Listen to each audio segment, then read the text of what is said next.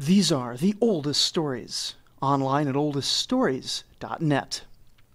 The Middle East is a mess. Non state actors are attacking established nations.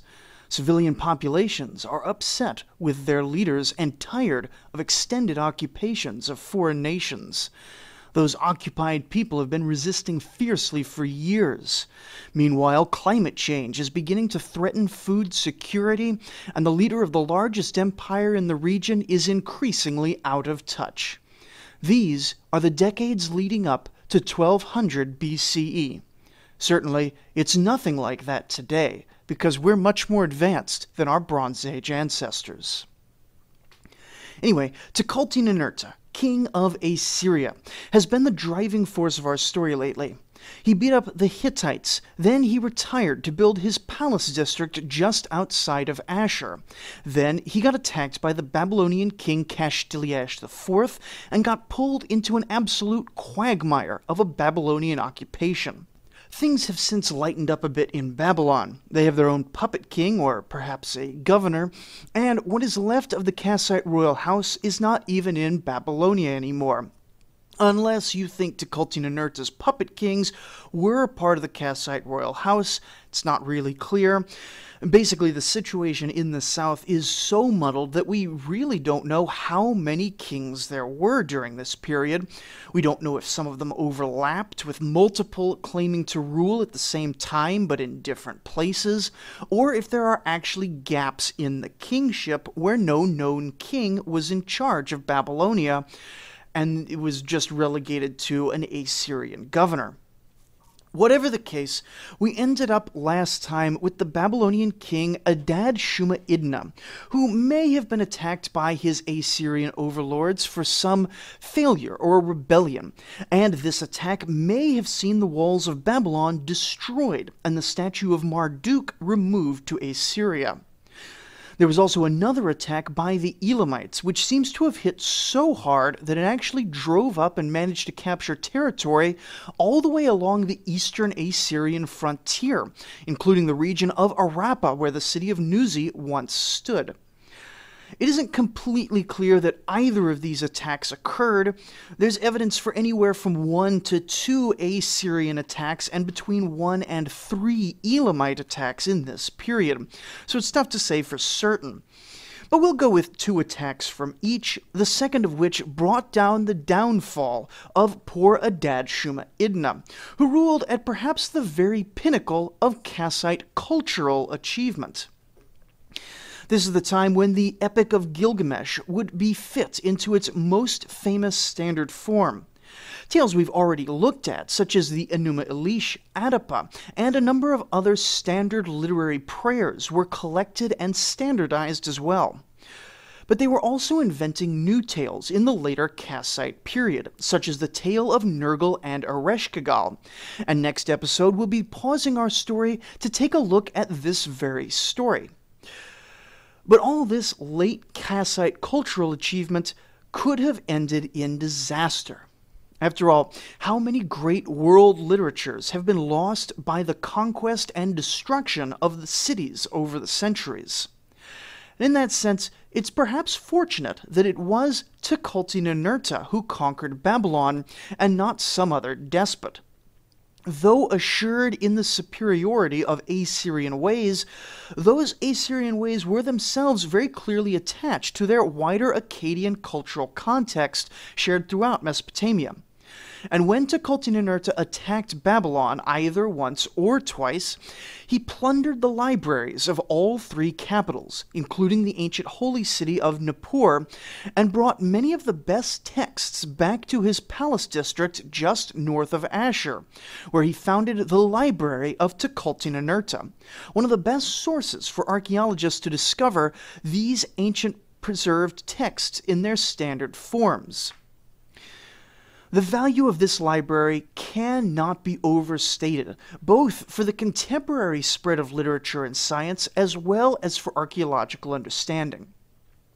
We've already seen that it contained medical texts by Rabba Marduk, the famous doctor, and epics in standard forms, but it seems to have also contained a wide variety of knowledge in all fields, and was available for study and copying by Assyrian scholars in the capital. This seems to have boosted Assyrian cultural development substantially, and was such a success that future Assyrian kings will consider it a powerful display of prestige to found and maintain massive royal libraries. This tradition will, of course, then be copied by the Persians, impressed by the Assyrian and Neo Babylonian libraries, and then again by Alexander the Great, which will lead to the founding of the Library of Alexandria in Egypt, perhaps the most famous, though it's not clear that it was in fact the largest, of ancient libraries of this sort. But Tukulti-Ninurta does not seem to have been collecting these texts just because it was popular. He was almost certainly literate personally, in an age when many kings simply were not. And while it isn't clear if he wrote the famous Tukulti-Ninurta epic himself, or if he had some scribes do it on his instructions, it is almost certain that he composed a pretty well written prayer poem to the god Asher, describing the political situation he found himself facing in his final years. Tukulti-Ninurta's Psalm to Asher is, like most Akkadian language religious literature, highly repetitive and not quite as nice in English as it probably was in the original language.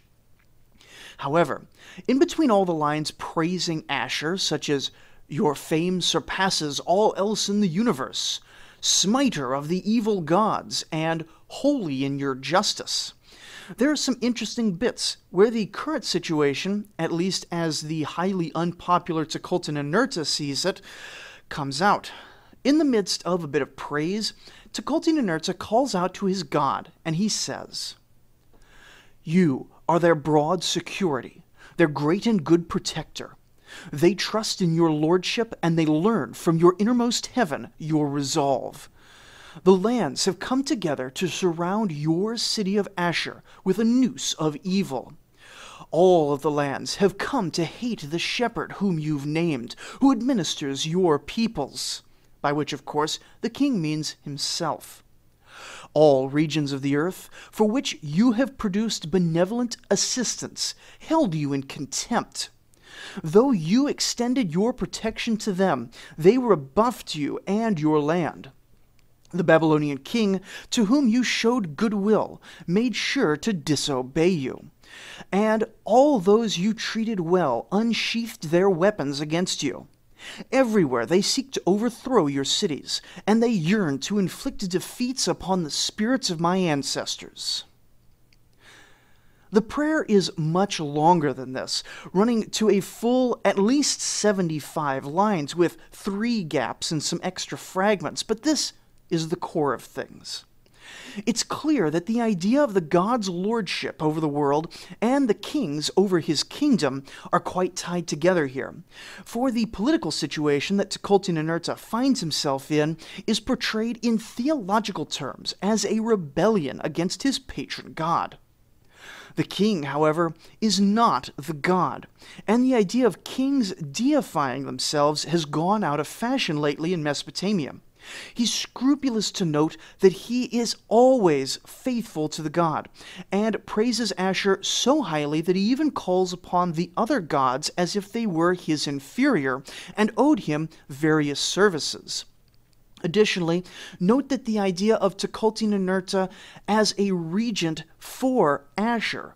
uh, instead of in other cities, the kings are the kings appointed by the gods, whereas in Assyria, for centuries now, there has been on and off this idea that the king is not the king, he's the regent of the god Asher, and the city is ruled by the god personally. Uh, this is mostly a semantical issue. In practice, it was the same thing, but it is an interesting theological thingy.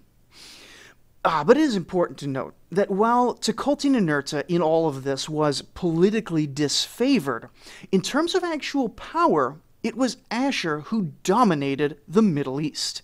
And despite the increasing attacks from the barbarian Aramaeans, Suteans, and Ahlamu, despite the rebellions from Babylonia, and despite even losing some of the eastern territory to a resurgent Elam, all in all, it's probably a sign of both Assyrian regional strength and internal weakness combined that led to the accidental war with the Hittites. You see, tensions were high between the Assyrians and the Hittites following the Battle of Nihriya at the start of Tukulti-Ninurta's reign. But varying degrees of diplomacy had kept trade flowing and peace along the border, which both nations desperately needed given their distractions elsewhere. However, while the great king of Hatti and the king of kings in Assyria wanted peace on their mutual border, each had underlings looking for their own gain at the expense of those around them. By coincidence, our players are perhaps more similar than they are different. Two royal cousins, each in charge of a major strategic region for their empire. The ruler of Hanigalbat province, the conquered Mitanni homeland, was Ashur-Iddin, while in Karchemish, the Hittite eastern stronghold of the Euphrates, Talmiteshub was the Hittite viceroy. The Hittites were weakening, going through a series of tough times that we'll be examining soon enough, and the Assyrian governor Ashur-Iddin saw an opening raising some local troops, likely a number of out of work Hurrian or Mitanni warriors, the Assyrian governor launched an attack and captured a number of small towns on the Hittite side of the Euphrates, taking the territory directly north of the city of Carchemish.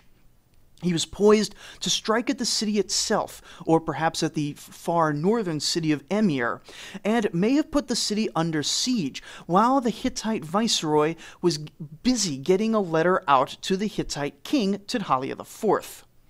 Talmiteshub expected reinforcements for his beleaguered city, and likely some were on the way. But the Hittite king also sent a letter to the Assyrian king Tukulti-Ninurta, asking nicely for him to maybe stop, please, attacking his territory. And then something fairly unusual happened. These sorts of letters were quite frequently sent, but almost universally ignored on the eve of battle. Or perhaps it would become an opportunity to smack talk with the enemy. This time, however, Tukulti-Ninurta replied by insisting that he knew nothing about the attack, never wanted a war with his neighbor, and would investigate the matter promptly.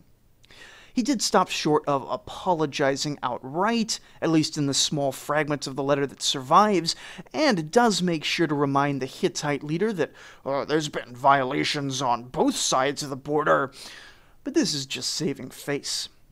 Ultimately, Tukulti-Ninurta forced Ashur-Iddin to return his conquered territories back to the Hittites before the year was out. This was pretty remarkable, in that it may well be the first recorded instance in history of two more or less equal powers seeking peace after hostilities have broken out, without one side being defeated in some way. This is peace negotiations, triumphing over the hawkish interests of nobility. Like I said, this is not the modern age, this is Bronze Age. And this is probably not the first time that it's happened ever, but it is the first time that we've seen two powers making peace instead of war on this show, which is significant in itself but I don't think it speaks to any degree of moral pacifism on the part of either major king. Rather, it should mostly indicate to us just how bad things are getting as the Bronze Age collapse begins in earnest. A major, highly valuable, and greatly desired region was contested, and if the Assyrians wanted, they had a decent chance of grabbing it from the Hittites. However, things internally in Assyria are now so bad that Tukulti-Ninurta would rather take the shame of handing over conquered land without a fight than deal with the hassle of taking and holding it. We don't know what happened to Ashur-Iddin, But he was likely fairly unhappy about this whole situation, and almost certainly this was one of many grievances that the nobility of Ashur had against their monarch, who by this point, at the end of his reign, was spending nearly all of his time in the palace and temple complex he'd built for himself just north of the city. This increased isolation may have been taken as a sign down in Babylon that it was time for another attempt at independence. Now, the events surrounding the Babylonian kingship in the late period of Tukulti-Ninurta's reign are highly uncertain. The traditional account takes the previous king, Adad Shuma Idna, as having died in 1217, then his successor, Adad Shuma Usur, as having taken the throne in the following year. However, it's increasingly certain that though Adad Shuma Usur may have crowned himself as Kassite king in or around 1216, he was most likely not the only king of Babylon at the time, and ruled concurrently with Adad Shuma Idna, or perhaps even claimed the throne during some previous Babylonian king's reign as well. You see, at some point early in his life, Adad Shuma Usur fled from Assyrian controlled Babylon and lived for a time with the nomadic Suteans, one of the barbarian warrior groups gaining so much military power around this time. Here he lived as king in exile for a time, likely gathering Babylonian nationalists to his cause and serving as a hideout for those who opposed the Assyrian puppet king Adad Shuma Idna, while they lacked the strength to contest Assyrian rule directly.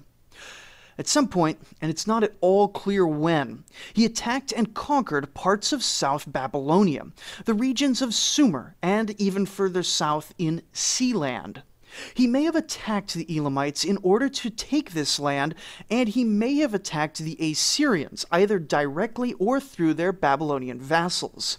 Adad Shuma Usur led a mostly nomadic army, Suteans and Kassites, as well as probably some mercenaries, and left very little trace of his rule over the honestly pretty devastated southern Mesopotamian region.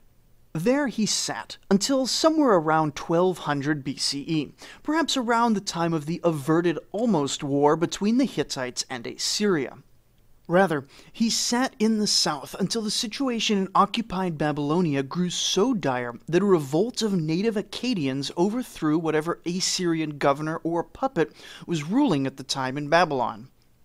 Then, the leaders of the revolt appear to have sent an invitation to Adad Shuma Usur to come and be the king of Babylon. One would assume that they selected him because he had some relation to the Kassite royal line, and this is generally the default assumption that he was some minor noble of that house, though of uncertain relation. However, after the regime change, the Elamite king sent a letter to the Assyrian king insisting that, thanks to various royal marriages, the Elamite royal house was more closely related to the former Kassite ruling dynasty than to this new fellow. They accuse him of being a pure Sutean, just some desert barbarian warlord with no real ties to Babylon and no legitimacy to speak of. Which leaves us in a bit of a quandary.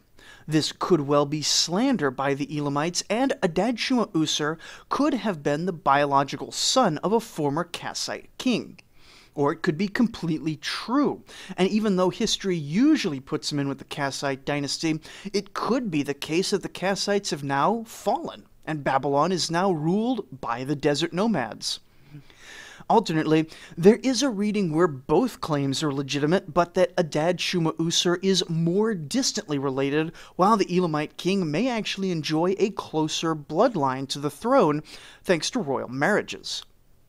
The truth of the matter is probably forever obscured to us, and it seems that it was not truly very important for the Babylonians.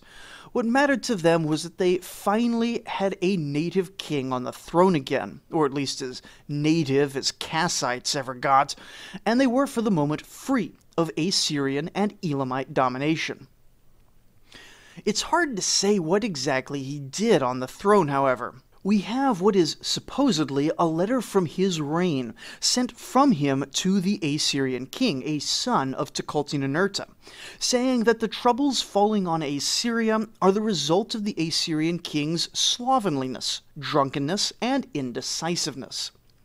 He says to the Assyrian king, Now there is neither sense nor reason in your heads, and that the great gods have driven him mad, though the supposed reasons for this are unclear.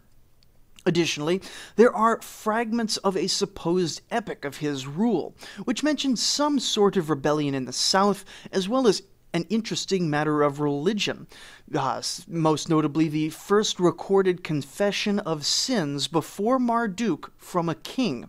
A feature will become standardized in later religious practice. The problem with these two documents, though, is that they are from much later, from the Persian and Greek domination of Mesopotamia hundreds of years later, and seem to contain enough anachronisms that scholars strongly doubt they were written any time near Adad Shuma Usur's reign which leaves us with very little to say about Babylon after they throw off the yoke of Assyrian oppression around 1200. Honestly, the biggest thing to happen in Mesopotamia during the dark decades of the collapse was the death of Tukulti-Ninurta up in Assyria in 1197. Having ruled over a crisis period, he seems to have made decisions which generally strengthened the empire as a whole, but did so at the cost of irritating much of the Assyrian nobility. His sons, along with much of the Assyrian military and governmental leadership, got fed up with them in 1197 and surrounded him in his palace district of Kar Tukulti-Ninurta. The extent of the civil war is unclear. It may have been fairly quiet, but the sequence of events appears to be that first the palace district was besieged, while the sons ensured their control over the rest of the empire. And then the city was assaulted, and Tukulti-Ninurta was deposed and imprisoned for a time. Once the designated successor, Ashur-nadin-apli, a son of Tukulti-Ninurta, was enthroned and the nation was stable, they killed the old king with a sword. By this reckoning, the deposing of Tukulti-Ninurta was fairly clean and easy. Whether or not this was true, it came at a hard cost for the Assyrian Empire. Whatever allegiance Babylon once owed to their conqueror is gone after the brutal leadership change. And more significantly, Assyria had been experiencing a loss of faith with the previous king for at least a decade, if not longer, before his final overthrow. It seems that simply replacing him through patricide did nothing to enhance the legitimacy of the Assyrian throne, and Ashur-nadin-apli ruled for just a bit over a year before being succeeded by his son, though we don't have any details on his death and can't say if it was cut short naturally or unnaturally. What little we do know of the short lived monarch tells us that he was experimenting with new ways of understanding the role of the king, likely in response to either the perceived dereliction of duty from his father or the instability of his own throne. Specifically, his very few inscriptions are much more verbosely pious than normal, calling on a greater variety of Mesopotamian gods, and adding to the list to whom by the command of the gods Ashur, Enlil, and Shamash the just scepter was given, and whose important name was called for the care of the land. The king under the protective hand of the god An, and the select of the god Enlil. Still, all this piety, whatever its purpose, did him little good, for he would be the last Assyrian king for a while to leave any major building projects. When his son Ashurnirari III took the throne, we enter properly into the dark age of the collapse years, and can say very little about what was going on. He ruled for five years and did very little with that time, likely starting to lose control of many outlying territories. There may have been another Elamite attack either on Assyria or in Babylon around this time, and Maybe there wasn't, and the single reference is discussing a different attack under a different king at some other point in time. It's a bit of a mess. Ashur-nirari died of murder, killed by one of his uncles, Enlil-kudurri-usur, who, like Ashur-nirari and Ashur-nadin-apli, were all likely part of the rebellion to kill Tukulti-Ninurta. He would also rule for five years and managed to be famous only for losing a war against the Babylonian king Adad Shuma Usur, near the very end of the Babylonian king's very long life. Enlil Kudurri Usur, king of Assyria, was captured in this war and led in chains back to Babylon, where it seems he was not immediately executed but kept prisoner for whatever reason. While Assyria's king was in prison and the throne empty, the son of a former top minister named Ninurta Apal Ikur, who claimed descent from King Eriba Adad nearly 200 years prior, gathered an army and attempted to take the Assyrian throne. When the city of Ashur resisted, he laid siege to the city and seemed to be on the verge of conquering the city. But at the very last moment, the proper king, Enlil-kudurri-usur arrived, much to everyone's astonishment, having been let out of Babylonian prison because I guess the Babylonians thought it would be hilarious to see everyone's faces. Seriously, no explicit reason is given for Enlil-kudurri-usur's release, and it has it had to be like I don't know, practical joke Anyway, the joke was apparently so effective that Ninurta Apal Ikur, the would-be usurper, simply turned around and left. Then he sat around for the off-season that year, pondering what he should do, before deciding next spring that, yep, he didn't actually care if the Assyrian throne was occupied or not, he still wanted to be king. And so he rounded up his army yet again, laid siege to Ashur once again, and killed Enlil-kudurri-usur, taking the throne for himself. He would manage to rule for only two years and do almost nothing with his time even after all that effort, apparently too beset from within and from without by threats to accomplish anything. He ends up being remembered almost exclusively for a badly broken series of royal decrees instituting harsh punishments in his own harem for breaking rules. For example, if two of his palace women blaspheme while arguing with each other, the blasphemer's throat will be cut. Not exactly a family values sort of guy, and apparently he could barely even control his extended royal family, much less the nation as a whole. He would die after either two or twelve years, and be succeeded by his son Ashur-dan, who would provide some much needed stability for the now badly diminished empire. It's unclear if the formal territory claimed by the Assyrians has diminished very much at all, though it has definitely retracted at least a bit. However, the centralization that had been built up by the successful kings of previous generations seems to have largely slipped away by the time of Ashur-dan, and many fringe areas of the empire are held by vassals rather than governors, perhaps only nominal vassals at that. Though very little survives from this period, we know that by the time of Ashur-dan, the nomadic Aramaeans and Suteans are now running rampant throughout the Near East, and there's very little that the central government can do to stop their continuous depredations.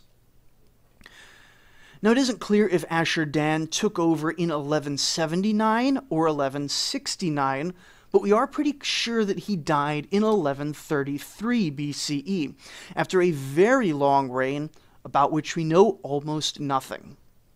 The king's death would set off a civil war between two of his sons, Ninurta Tukulti Ashur and Mutakil Nusku, who appears to have taken most of the year 1133 to resolve the conflict.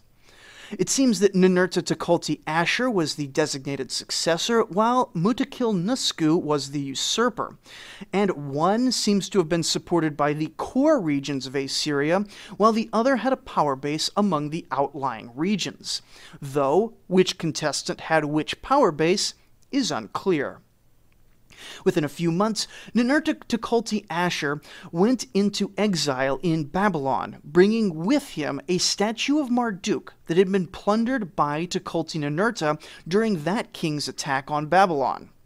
This seems to have purchased him some degree of safekeeping among the Babylonians, though he doesn't seem to have ever managed to return to Ashur though later Babylonian kings would threaten to back Ninurta to Tukulti Ashur if the Assyrian government didn't cooperate with them on various matters. In any case, Mutakil Nusku's reign wouldn't last to the end of the year either, and he died, leaving the throne to his son Ashur Resh Ishi. However, as we move past the year 1133, we find that we're beginning to move into a new phase of history. While historians put a big marker somewhere near the year 1200, 1177, or 1150, I think we can see that, at least in Assyria, the so called Bronze Age collapse looks like very little more than a period of national difficulty. Not a great apocalyptic catastrophe. And the Assyrian Empire was very much continuous throughout this period. Still, continuous or not, we're going to put a stopping point right here, for we have a great deal of other things to talk about before we let the Assyrians and Babylonians recover from what's been a fairly unpleasant century for everyone. Returning then to 1180 BCE, about when Ashur-dan began his rule, and moving south to Babylon, we see that while the Assyrians were busy offing one king after the next, the Babylonians have been taking things quite calmly. Adad Shuma Usur died in 1186 and left the throne to someone who was probably his son, Melishapak, though for some reason he didn't tend to mention his father very much in royal inscriptions, suggesting that there may have been some sort of wrinkle in the lineage. Or perhaps that the reputation of Adad Shuma Usur was at least somewhat mixed following his death. Babylon was, by the ascension of Melishapak, a much reduced kingdom. It did have ties with a few individual cities all the way up the Euphrates, but these were likely quite tenuous connections. And the fact that these distant cities, like Emar in Syria, were wiped out by nomadic groups during Melishapak's reign pretty much says it all. One thing I have failed to mention throughout my discussion of Kassite times is the slow growth of a thing called a kuduru.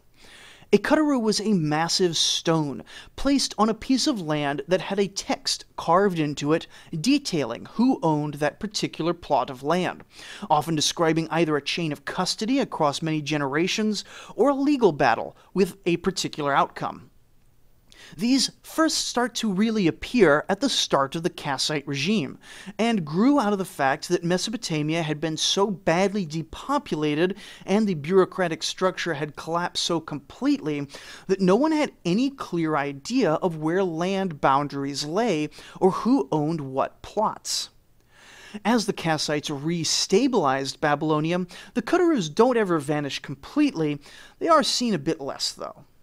By Melishapak's reign, though, Kuduru stones are coming back into fashion. Archaeologists have recovered perhaps seven of these from this period, which honestly doesn't seem like a lot, but realize that each Kuduru is a pretty hefty investment. Not only are they quite large stones in a region that's generally short on stone, but they're also inscribed, which probably took quite a while. Add to that the fact that archaeology only ever finds a small fraction of what was produced, and we get the sense that as Babylon declined, Kuduru stones became more common. This almost certainly tells us that the central government's ability to exert its will and maintain records is undergoing complete collapse faith in the government is waning. And so, if Melishapak wants to offer someone a land grant or adjudicate an important case, simply decreeing what he wants is no longer enough. He has to go through the tremendous expense of creating a massive stone and sticking it directly on the land in question. Such a monument is much harder to argue with than ephemeral government decrees and will pretty clearly outlast the failing Kassite dynasty. But despite constant attacks from nomad groups, as well as the complete collapse of international trade, Melishapak still has enough control over the Babylonian core territories that he's for- able to fund construction projects in Nippur and in the Sumerian city of Isin. Isin hasn't really played much of a role in our story since back before Hammurabi's time, but in the Kassite period it's received a modest amount of government sponsorship and has been rebuilt as a functioning city. It will, in future episodes, have a role to play in Babylon's recovery once the Kassites are destroyed. The only other thing of note in Melishapak's reign is that he sent a daughter to marry the Elamite king Shutruk Nahunte. This would prove to be a mistake, since the Elamites already believed that they held some sort of claim to the Babylonian throne, and this would only embolden them. But at least in Melishapak's lifetime, it seems to have kept the Easterners from attacking for the moment. Melishapak ruled a declining kingdom for about 15 years, dying in 1172 and being replaced by his son Marduk Apla Idna. Very little survives from the 13 years of Marduk Apla Idna's reign, though we have strong indications that the territory controlled by Babylon continued to recede, as more and more towns in the Near East show signs of being sacked, probably by nomad groups like the Aramaeans. To clear up a potential source of confusion, these bandits are almost certainly not the famous Sea People of the Bronze Age collapse. We will be looking at the Sea People when we get a chance, but they were not directly related to the hard times of Mesopotamia, instead plaguing the Levantine region, Egypt, and Anatolia. In terms of impact, the Aramaeans, Suteans, Lullabaeans, Gutaeans, and other groups damaged Mesopotamia nearly as thoroughly as the Sea Peoples did in the West, but I have seen a few YouTubers and other pop scholars on the internet lumping in these Eastern threats with the more famous Sea People. It is an understandable mistake to make. Both are rampaging nomad groups who seem to appear out of nowhere and annihilate whole civilizations, but they are in fact separate peoples, though likely driven by similar ecological and historical pressures. Anyway, Marduk Apla Idna may have been responsible for as many as 18 Kuduru stones, suggesting that people have largely given up on the idea of centralized records and would rather have a giant block of stone on their land so they can point out to whoever comes by that, yep, I'm the rightful owner of this plot. Likely, this wasn't very effective against raiders, but it could well have provided protection as local regimes changed, as a local lord might be slightly more willing to respect such a clear claim of rightful ownership. Aside from that, there isn't much to say about him, and he died in 1159 BCE, to be succeeded by his son Zababa Shuma Idin. However, not everyone agreed that Zababa Shuma Idin was the most legitimate successor to the throne. We don't honestly know his lineage, though he does appear to be the son of the previous king. However, the Elamite king Nahunte, who had married into the Kassite dynasty during Zababa Shuma Idin's grandfather's reign, sent a letter to Babylon putting forth his claim to the throne. I'll read it for you. Why I, who am a king, son of a king, seed of a king, scion of a king, who am king for the lands, for the land of Babylon and the land of Elam, descendant of the eldest daughter of the mighty king Kurigalzu. Why do I not sit on the throne of the land of Babylonia? I sent you a sincere proposal. You, however, have granted me no reply. You may climb up to heaven, but I'll pull you down by the hem of your shirt. You may go to hell, but I'll pull you up by your hair.